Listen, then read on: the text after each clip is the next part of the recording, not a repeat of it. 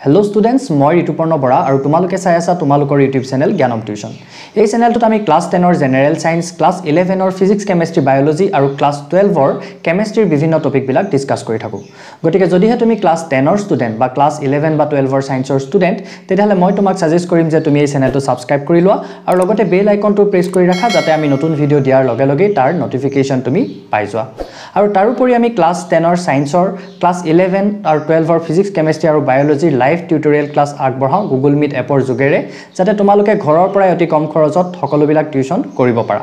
গতিকে সেই টিউশ্যন ক্লাছবিলাকত যদি তোমালোকে এনৰোল হ'বলৈ বিচাৰা তেতিয়াহ'লে আমাৰ ডেছক্ৰিপশ্যনত থকা নাম্বাৰত আমাৰ লগত যোগাযোগ কৰিব পাৰা। আজি ক্লাছ টেনৰ ষ্টুডেণ্টসকলৰ বাবে এটা নতুন লেচন আৰম্ভণি কৰিম। অলৰেডি আমি unit one unit two unit five discuss কৰিলোঁ। কিন্তু ইউনিট থ্ৰী আৰু ফ'ৰ ডিছকাছ কৰিবলৈ বাকী আছিল। গতিকে ইউনিট থ্ৰী ধাতু আৰু অধাতু বহুতে তোমালোকে ৰিকুৱেষ্ট কৰি আছিলা চ' এইটো পাঠ আজিৰ পৰা আৰম্ভ কৰিম। এতিয়া ধাতু আৰু অধাতু বুলি ক'লে আমি সহজেই আমাৰ মনত এটা ধাৰণা আছে যদিও আমি ইয়াক এনেকৈ ছিষ্টেমেটিকেলি বিষয় হিচাপে পঢ়া নাই তথাপিতো আমি জানো হয় নহয়? ধাতু আৰু অধাতু কি হয় আমি অলৰেডি অলপ অলপ হ'লেও গম পাওঁ। এতিয়া ধাতু আৰু অধাতু লেচনটোত প্ৰথমতে তোমালোকক দিয়া হৈছে তাৰ ভৌতিক ধৰ্মৰ বিষয়ে। ভৌতিক ধৰ্ম মানে যিবিলাক আমি চকুৰে চাই মেলি বা চুই চাই সিহঁতক বা বেকা বেকি কৰি চাই মেলি যিবিলাক বস্তু গম পাব পাৰোঁ সেইবিলাক হ'ল ভৌতিক ধৰ্ম। একো ৰাসায়নিক পৰিৱৰ্তন নঘটোৱাকৈ যিবিলাক ধৰ্মৰ বিষয়ে আমি গম পাওঁ। এতিয়া তাৰেই প্ৰথমতে তোমালোকক কিছুমান কাৰ্যকলাপ দিছে। প্ৰথম কাৰ্যকলাপটোত দিছে কেইটামান ধাতুৰ নাম ইয়াত তোমালোকক উল্লেখ কৰি থোৱা আছে আৰু সেই ধাতুবিলাকৰ বাহ্যিক চেহেৰাবিলাক তোমালোকক চাবলৈ কৈছে। আৰু তাৰ পাছত কি কৈছে? সিহঁতক কিছুমান বালিয়া কাগজেৰে বালিয়া কাগজ মানে এইখন চিজ কাগজ যে মাৰে আমি কাঠত মাৰোঁ। বা ৰং কৰিবলৈ সময়ত ৱালে চোৱালে মাৰোঁ চিজ কাগজ সেই বালিয়া কাগজ সেইখনৰ কথাই কৈছে। তো মাৰি পিনি তাৰপাছত আকৌ কি কৰিবলৈ কৈছে? তাৰ চেহেৰাটো পুনৰ মন কৰিবলৈ কৈছে। কেলৈ কৈছেনো? তেনেকৈ মন কৰিলে আমি কি দেখিম? চিক চিকাই থোৱা দেখিম আমি। ধাতুটো দেখিম যে চিক চিকাই আছে। তাৰমানে তাৰ পৰা তোমালোকক তাৰ কনক্লুজনটো দিয়া হৈছে যে বিশুদ্ধ ধাতুবিলাকৰ পৃষ্ঠ চিকমিকীয়া। বিশুদ্ধ ধাতুবিলাকৰ পৃষ্ঠ চিকমিকীয়া। আৰু সেই গুণটো কি বুলি কোৱা হৈছে? ধাতুৰ ধাতৱ দ্যুতি এই যে বালিয়া কাগজখনেৰে মোহাৰি চালোঁ কিয় বাৰু? কাৰণ যদি আমি এতিয়া লোৰ টুকুৰা এটাই ল'লোঁ যেনিবা। বা যিকোনো ধাতুৰ টুকুৰাবিলাকৰ লগত কি হয় বায়ুত থকা অক্সিজেনে বিক্ৰিয়া কৰি তাৰ যিখন পৃষ্ঠ পৃষ্ঠখন অশুদ্ধ কৰি ৰাখে। ধাতৱ অক্সাইড প্ৰডিউচ কৰি ৰাখে। এই যে প্ৰথম লেচনটোতে আমি পাইছিলোঁ মেগনেছিয়ামৰ ফিটা এডাল জুইত জ্বলাবলৈ তাত কি হৈছিলে মেগনেছিয়ামৰ ফিটাডালো আমি জুইত জ্বলোৱা আগত দহন কৰাৰ আগত ভালদৰে পৰিষ্কাৰ কৰি ল'ব লাগে বুলি গম পাইছিলোঁ। তাৰ কাৰণটো কি আছিলে যে ধাতুবিলাকে এতিয়া ধাতু এটা যেনিবা এনেকৈ থৈ দিয়া আছে নহয় তাক কি হ'ব বায়ুত থকা অক্সিজেনৰ লগত বিক্ৰিয়া কৰি কৰি এই ধাতৱ অক্সাইড প্ৰডিউচ কৰি থয়। মেগনেছিয়ামটো এতিয়া এম জি অ' হিচাপে থাকে। তেনেকৈ যিকোনো ধাতুৱে কি হয় এটা তাৰ অক্সাইডৰ লেয়াৰ এটা ওপৰত বহাই থয়। আৰু সেইটো অৱস্থাত আমি ধাতুটোক বিশুদ্ধ বুলি ক'ব নোৱাৰোঁ। বিশুদ্ধ বুলি ধাতুটোক কেতিয়া ক'ম? এতিয়া মেগনেছিয়ামটোক বিশুদ্ধ বুলি কেতিয়া ক'ম? সি যেতিয়া কেৱল এম জি হিচাপে থাকিব এম জি অ' হিচাপে নহয়। গতিকে সেই ওপৰৰ সেই প্ৰলেপটো আঁতৰাবৰ কাৰণে কি কৰি ল'বলৈ কৈছে আমাক? এই বালিয়া কাগজেৰে চাফা কৰি ল'বলৈ কৈছে। আৰু তাৰ পাছত আমাক কনক্লুজনটো দিছে যে বিশুদ্ধ ধাতুৰ পৃষ্ঠ চিকমিকীয়া তাৰমানে ধাতুটো বিশুদ্ধ কৰি লৈছোঁ আৰু বিশুদ্ধ কৰি লৈ আমি তাক পৰ্যবেক্ষণ কৰিছোঁ দেখিছোঁ যে সি চিকমিকীয়া ইয়াত লিখি মেলি বুজাবলগীয়া বিশেষ কথা নাই চ' তোমালোকক এইটো কথা তেনেকৈ বুজাবলৈ যত্ন কৰিছোঁ মই। বিশুদ্ধ ধাতুৰ পৃষ্ঠখন চিকমিকীয়া তাৰ পাছত আমাক কি চাবলৈ কৈছে? কিছুমান ধাতুৰ টুকুৰা ল'বলৈ কৈছে বেলেগ বেলেগ ধাতুৰ আৰু তাক কি কৈছে? কাটিবলৈ যত্ন কৰিবলৈ কৈছে। আৰু সেইটোৰ পিছত আমি কনক্লুজনটো কি দিয়া হৈছে যে ধাতুবিলাক সাধাৰণতে টান বা কঠিন। আমি এনেই সহজে কাটিবলৈ ল'লে বা ভাঙিবলৈ ল'লে ধাতুবিলাক ভাঙিব বা কাটিব নোৱাৰোঁ। এতিয়া লুৰ টুকুৰা এটা বা বেলেগ তেনেকুৱা কিবা ধাতুৰ টুকুৰা এটা এলুমিনিয়ামৰ টুকুৰা এটা কাঁহৰ কাঁহী এখন আমি ইচ্ছা কৰিলে এনেকৈ কাটিব নোৱাৰোঁ তাক কঠিন থাকে। কিন্তু অধাতুবিলাক এতিয়া বাঁহ কাঠ সেইবিলাক আমি ঘপিয়াই সহজেই কাটিব পাৰোঁ তাক। তাৰ পাছতে আৰু এটা কাৰ্যকলাপ দিছে ধাতুবিলাক হাতুৰিৰে মৰিয়াবলৈ কৈছে ধাতু এটা। নেক্সট কথাটো কি পালোঁ? দুই নম্বৰটো যে ধাতুবিলাক সাধাৰণতে কঠিন। নাম্বাৰ থ্ৰী আমাক কি কাৰ্যকলাপ চাবলৈ কৈছে? থ্ৰী পইণ্ট থ্ৰীটোৱে চাবলৈ কৈছে যে ধাতুবিলাক পিটিবলৈ কৈছে এনেকৈ। হাতুৰি এটা লৈ চ' হাতুৰি হাতুৰিৰে পিটিলে ধাতুবিলাক আমি কি দেখিম? চেপেটা হৈ যায়। এতিয়া লুৰ লুৰ টুকুৰা এটা। লুৰ টুকুৰা এটা পিটি পিটি পিটি তাক আমি দা এখনলৈ পৰিৱৰ্তন কৰিব পাৰোঁ কটাৰী এখনলৈ পৰিৱৰ্তন কৰিব পাৰোঁ বা ধাতু তেনেকৈ এলুমিনিয়ামৰ টুকুৰা এটা তাক হেঁচা দি হেঁচা দি চেপেটা কৰি তাৰ পৰা আমি কাঁহী এখন বনাব পাৰোঁ তাৰ পৰা আমি বেলেগ বাচন এটা বনাব পাৰোঁ। তো সেইবিলাক বনাব পৰাৰ কাৰণটো কি? যে ধাতুবিলাক ঘাত সহনশীল। ধাতুটোৰ কি থাকে? ঘাত সহনীয়তা থাকে। তোমালোকে ভালকৈ লিখিবা আখৰবিলাক। ঘাত সহনীয়তা থাকে ধাতুৰ। সেই ধাতু যে পিটি পিটি চেপেটা কৰিব পাৰি পিটিলে ধাতু এটা ডাইৰেক্ট ঘাটেককৈ ভাগি নাথাকে। মেক্সিমাম ধাতু কি হয় লাহে লাহে লাহে লাহে পিটি থাকিলে সি চেপেটা হৈ হৈ গৈ থাকে বা তাক বেলেগ বেলেগ শ্বেপ দিব পাৰি বেলেগ বেলেগ আকাৰ দিব পাৰি। সেইটোক আমি তাৰ কি বুলি কৈছোঁ ধাতু এটাৰ ঘাত সহনীয়তা। তাৰপিছতে কোৱা হৈছে ধাতুৰ নমনীয়তাৰ কথা। ধাতু এটাৰ পৰা আমি দেখিম যে কি কৰিব পাৰোঁ? এতিয়া লুৰ টুকুৰা এটা বা এলুমিনিয়াম এডালৰ পৰা টানি টানি টানি তাক আমি তাঁৰ এডালৈ পৰিৱৰ্তন কৰিব পাৰোঁ। হয়নে? তো ধাতুৰ সেই তেনেকৈ তাঁৰলৈ পৰিৱৰ্তন কৰিব পৰা বা ধাতু এটুকুৰা টানি দীঘল কৰিব পৰা যিটো গুণ তাক ধাতুৰ আমি নমনীয়তা বুলি ক'ব পাৰোঁ। চ' এইকেইটা হ'ল ধাতুৰ মেইন ভৌতিক ধৰ্ম। তাৰ উপৰিও কিছুমান ভৌতিক ধৰ্ম আছে। ধাতুবিলাক কি হয়? তাপৰ সুপৰিবাহী। ধাতুৰ টুকুৰা এটা তোমালোকৰ কাৰ্যকলাপটোতে দিয়া আছে। ধাতুৰ টুকুৰা এটা। যদি এই মূৰত মই এনেকৈ গৰম কৰোঁ এই মূৰত ছাপ'জ মই গৰম কৰিছোঁ গৰম কৰি এইটো মূৰত মই হাতেৰে ধৰি আছোঁ। বা যিকোনো লুৰ টুকুৰা এটা তুমি এতিয়া কাঠ এডাল যিদৰে আগটো জ্বলি থাকিলেও আমি খৰিডাল ধৰি থাকিব পাৰোঁ। তুমি লোহা এডাল তেনেকৈ আগটো যদি জুইত ভৰাই থোৱা থাকে আমি ধৰিব পাৰিম জানো? নোৱাৰোঁ। কি কাৰণে? কাৰণ ধাতুবিলাক তাপৰ সুপৰিবাহী। চ' ধাতুবিলাক কি হয়? তাপৰ সুপৰিবাহী। সেইটো এটা ধাতুৰ গুণ। তাপৰ সুপৰিবাহী। তাপৰ সুপৰিবাহী। তাৰ বাদেও আকৌ যদি আমি চাওঁ ধাতুবিলাক ধাতুবিলাক বিদ্যুতৰো সুপৰিবাহী। এতিয়া যিবিলাক আমাৰ ৱায়াৰ ব্যৱহাৰ কৰা হয় সেইবিলাক অধাতু নহয়। আমি এনেই বাঁহৰ কাঠৰ কিবা এডালৰ মাজেদি কাৰেণ্ট পাছ কৰোঁ তিতি থাকিলে তাৰ পানী আয়নৰ মাজেদি কাৰেণ্ট পাছ হ'ব পাৰে সেইটো এটা বেলেগ কথা। সেইটো আমি বেলেগ এটা পৰ্যায়ত পঢ়িম কিন্তু যিবিলাক আমি বৰ্তনী ব্যৱহাৰ কৰোঁ বা যিবিলাক ৱায়াৰ ব্যৱহাৰ কৰোঁ সেইবিলাক কি থাকে? চব সাধাৰণতে ধাতু থাকে। সেইটো এটা ধাতুৰ গুণ। ধাতুবিলাক কি হয়? বিদ্যুতৰো সুপৰিবাহী। ধাতুবিলাক বিদ্যুতৰ সুপৰিবাহী। তাৰোপৰি আৰু এটা ধাতুৰ আমাৰ গুণ আছে। ধাতুটো আমি ধাতুৰ টুকুৰা এটা এতিয়া স্কুলৰ বেলটো। স্কুলৰ বেলটো যেতিয়া আমি লাঠি এডালে মাৰি দিওঁ তেতিয়া কি হয়? কটংকৈ যিটো চাউণ্ড হয় চাউণ্ডটো কি হয় অলপ সময়লৈকে টংকৈ গৈ থাকে যে। সেই যিটো চাউণ্ড সেই যিটো গুণাগুণ সেই গুণ গুণ গুণাগুণটোক ধাতুৰ কি বুলি কোৱা হৈছে? আৰু এটা বস্তু তোমালোকক দিয়া আছে সেইটোক কোৱা হৈছে ধাতুৰ নিনাদী গুণ নিনাদী গুণ এইবিলাক গোটেইখিনি তোমালোকে মনত ৰাখিবা। ইমান টান বস্তু নহয় এইকেইটা গোটেইকেইটা মনত ৰাখি থোৱাটোৱে ভাল।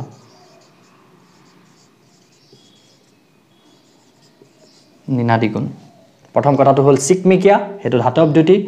কঠিনটো গম পালোৱেই সহজে আমি তাক ভাঙিব কাটিব নোৱাৰোঁ। নেক্সট ঘাট সহনীয় পিটি চেপেটা কৰিব পৰা গুণটো নমনীয়তা টানি দীঘল কৰিব পৰাটো সুপৰি তাপৰ সুপৰিবাহী সেইটো কাৰণে কি কৰা হয়? এই বাচন বৰ্তনবিলাক আমাৰ এতিয়া খোৱা বাচন বৰ্তনবিলাক বা বনোৱা বাচন বৰ্তনবিলাক সাধাৰণতে কি হয়? এইবিলাক ধাতুৰ হয় এলুমিনিয়ামৰ থাকে কাঁহৰ থাকে বা পিতলৰ থাকে সেইবিলাক চব ধাতুৰ হয়। বিদ্যুতৰ সুপৰিবাহী সেইকাৰণে বিদ্যুতিক তাঁৰবিলাক কি হয়? ধাতুৰ থাকে। আৰু নিনাদী গুণ যিটো ধাতুৰ টুকুৰা এটা পিটি দিলে টাং কৰে যে সেইটো ধাতুৰ নিনাদী গুণ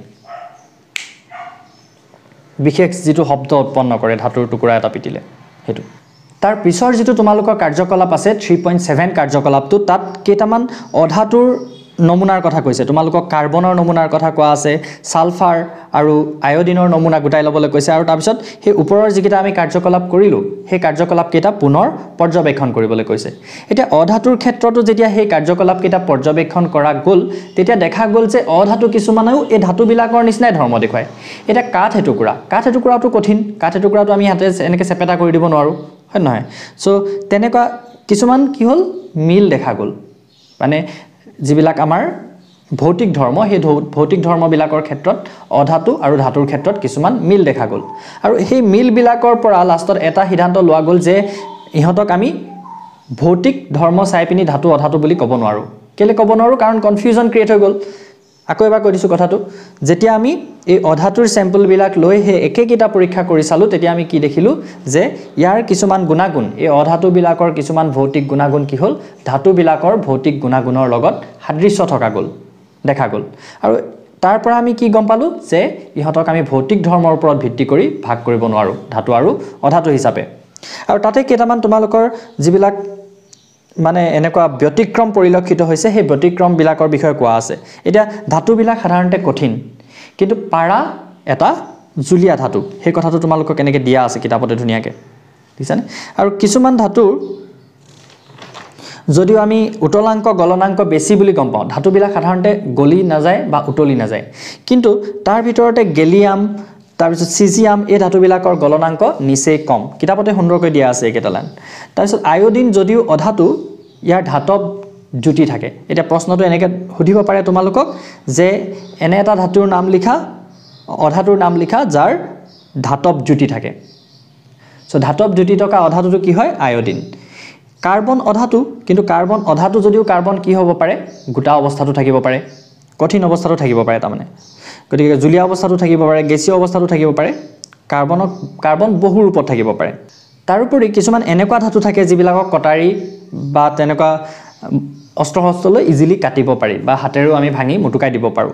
গতিকে তেনেকুৱা কিছুমান থাকে যেনে লিথিয়াম ছ'ডিয়াম পটাছিয়াম একদম কোমল ধাতু। চ' সেইবিলাক কিছুমান ব্যতিক্ৰম। আমি দেখিবলৈ পাইছোঁ। তাৰপিছত তোমালোকে চোৱা এতিয়া কাৰ্যকলাপ থ্ৰী পইণ্ট এইট কাৰ্যকলাপ থ্ৰী পইণ্ট এইটত তোমালোকক কি কোৱা হৈছে? এডাল মেগনেছিয়ামৰ ফিটা ল'বলৈ কৈছে এম জি। এডাল ছালফাৰৰ ফিটা ল'বলৈ কৈছে। এতিয়া মেগনেছিয়ামটো হ'ল এটা ধাতু আৰু এইটো হ'ল এটা অধাতু। এইটো এটা ধাতু আৰু এইটো হ'ল এটা অধাতু। আৰু আমি অলৰেডি আমাৰ ফাৰ্ষ্ট যিটো লেচন আছে সেই লেচনটোত পাইছিলোঁ যে মেগনেছিয়ামক যেতিয়া আমি অক্সিজেনৰ প্ৰেজেঞ্চত জ্বলাই দিওঁ তেতিয়া কি হয়? মেগনেছিয়াম অক্সাইড উৎপন্ন হয়। তাৰমানে ইয়াৰ পৰা যিখিনি ছাই উৎপন্ন হ'ব ভস্ম উৎপন্ন হ'ব সেইখিনি কি? মেগনেছিয়াম অক্সাইড আকৌ তেনেকৈ ছালফাৰক যেতিয়া আমি অক্সিজেনৰ লগত পুৰি পেলাম তেতিয়া তাৰো অক্সাইড উৎপন্ন হ'ব। তাৰমানে এই অধাতুটোৰ পৰা উৎপন্ন হোৱাটো কি হ'ব? অধাতৱ অক্সাইড অধাতৱীয় অক্সাইড আৰু এই ধাতুটোৰ পৰা যিটো অক্সাইড উৎপন্ন হৈছে সেইটো ধাতৱ অক্সাইড সিহঁতৰ অক্সাইড উৎপন্ন হ'ব।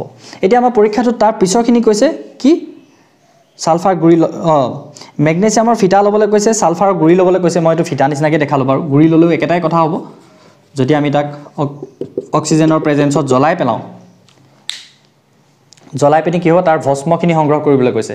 ভস্মখিনি এই ধাতুটোৰ ক্ষেত্ৰত ধাতৱ অক্সাইড হ'ব আৰু অধাতৱীয় অক্সাইড হ'ব। এই অধাতুটোৰ ক্ষেত্ৰত যিখিনি আমি ভস্ম পাম সেইখিনি। তাৰপিছত কি কৈছে? সিহঁতক পানীত মিহলাবলৈ কৈছে বেলেগ বেলেগকৈ।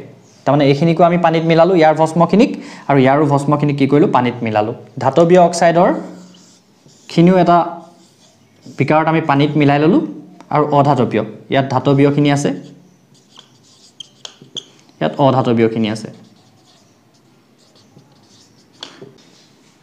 এতিয়া এই ধাতৱীয় অক্সাইডৰ দ্ৰৱখিনিৰ ওপৰত যেতিয়া আমি ৰঙা লিটমাছ কাগজ এখন ধৰিম তেতিয়া দেখিম যে এই ৰঙা লিটমাছ কাগজখন নীলা হৈ পৰিব। এতিয়া ৰঙা লিটমাছ কাগজক নীলা কৰা বস্তুটো কি আছিলে? সেইটো আছিলে ক্ষাৰক। তাৰমানে আমি কি গম পালোঁ যে এই ধাতৱীয় যিবিলাক অক্সাইড হয় সেইবিলাক কি হয়? ক্ষাৰকীয় হ'ব। ধাতৱীয় অক্সাইডবিলাক ক্ষাৰকীয় হ'ব। আকৌ এই অধাতৱীয় অক্সাইডৰ যিটো দ্ৰৱ পালোঁ সেই দ্ৰৱটোত যেতিয়া আমি নীলা লিটমাছ কাগজ এখন ধৰিম তেতিয়া দেখিম সেইখন ৰঙা হৈ যাব। এতিয়া নীলা লিটমাছ কাগজক ৰঙা কোনে কৰে? এচিডে কৰে বা অম্লই কৰে চ' ই কি হ'ব? আমলিক। এই অধাতৱীয় অক্সাইডৰ যিখিনি দ্ৰৱ সেইখিনি হ'ব আমলিক। আকৌ এবাৰ মই কথাটো কনক্লুড কৰি দিছোঁ। আমাক কি কৈছে? এটা ধাতুৰ টুকুৰা ল'বলৈ কৈছে আৰু অধাতুৰো কিছুমান টুকুৰা ল'বলৈ কৈছে। সিহঁতক জ্বলাই দিবলৈ কৈছে। অধাতুটোক বেলেগে ধাতুটোক বেলেগকৈ জ্বলাই দিলোঁ। আৰু জ্বলাই দিলে আমি তাৰ পৰা কিছুমান ভস্ম পাম মানে ছাইখিনি কথা কৈছে ভস্ম। আৰু সেই ছাইখিনি কি হয় আমি অলৰেডি জানো?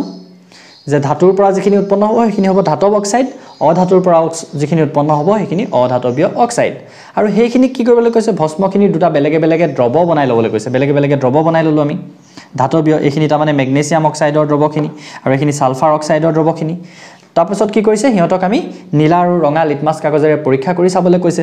চ' যেতিয়া আমি ৰঙা লিটমাছ কাগজেৰে এই ধাতৱীয় দ্ৰৱখিনিক পৰীক্ষা কৰিলোঁ তেতিয়া দেখা পালোঁ যে ৰঙা লিটমাছ কাগজখন নীলা হৈ গৈছে। এতিয়া সেই কামটো কোনে কৰে? ক্ষাৰকে কৰে। ক্ষাৰকে কি কৰে? ৰঙা লিটমাছ কাগজক নীলা কৰে। চ' এই ধাত ধাতৱীয় যিটো দ্ৰৱ সেইটো কি গম পালোঁ আমি? যে সি এটা ক্ষাৰকীয় দ্ৰৱ। আকৌ এই অধাতৱীয় অক্সাইডৰ যিটো দ্ৰৱ আছিল সেই দ্ৰৱটোত যদি আমি এই নীলা লিটমাছ কাগজ এখন ধৰোঁ সেই নীলা লিটমাছ কাগজখন কি হৈ যাব? ৰঙা হৈ যাব। এতিয়া নীলা লিটমাছ কাগজক ৰঙা কোনে কৰে? এচিডে কৰে বা অম্লই কৰে। গতিকে এই যিটো দ্ৰৱ সেইটো হ'ব কি? আমলিক দ্ৰৱ। চ' এই ক্লাছটোৰ কাৰণে ইমানখিনিয়ে। আকৌ এটা পিছৰ ক্লাছত ইয়াৰ পিছৰখিনি ডিছকাছ কৰিম। তোমালোকে যদি ক্লাছটোৰ পৰা উপকৃত হৈছোঁ বুলি ভাবিছা তেতিয়াহ'লে লাইক এটা কৰিবা কমেণ্ট কৰিবা আৰু তোমালোকে যিমান পাৰা লগৰীয়াসকলৰ লগত শ্বেয়াৰ কৰিবা কাৰণ তোমালোকে চালে আৰু বেছিকৈ ছাত্ৰ ছাত্ৰী উপকৃত হৈছে বুলি গম পালেহে আমাৰো নতুনকৈ ভিডিঅ' বনাই থাকিবলৈ মন যায়। চ' নতুনকৈ এটা ভিডিঅ'ত লগ পাম তেতিয়ালৈকে থেংক ইউ